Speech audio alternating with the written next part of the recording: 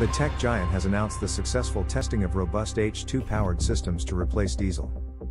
Microsoft has announced that it has arrived at the latest step in its efforts to leave diesel powered energy for its data centers in the past through the use of hydrogen fuel cells. The company has been testing systems powered by H2 to function as its backup generators.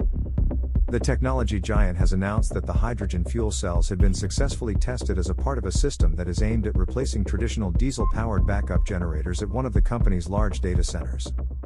Microsoft's goal is to entirely replace its reliance on diesel as a backup power system fuel by 2030.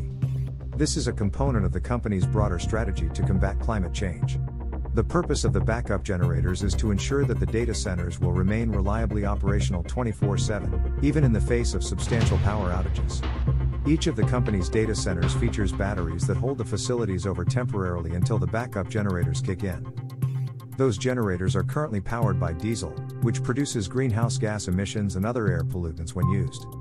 The H2 powered alternatives release only water and heat as their emissions when generating electricity. Though large batteries can be powered by renewable energy, they don't typically have the necessary capacity for powering a data center, and even when they can, their capacities last for a few hours at the most.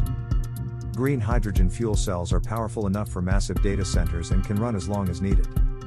Microsoft's tests involve the use of a 3 megawatt H2 powered system that was able to power about 10,000 computer servers at one of its data centers. That is the equivalent amount of power needed for about 600 homes, to provide some context regarding the amount of electricity required. What we just witnessed was, for the data center industry, a moon landing moment, said Microsoft Director of Data Center Research Sean James in an official blog post. This test provided important information to the company, though it is important to recognize that implementing systems based on green hydrogen fuel cells at all Microsoft's data centers will still require a lengthy road. The company first started poking around at the use of the technology back in 2013. It has been working with H2 since 2018. Thank you for following Hydrogen Fuel News. Make sure to hit subscribe and click the link within the description to get our free ebook.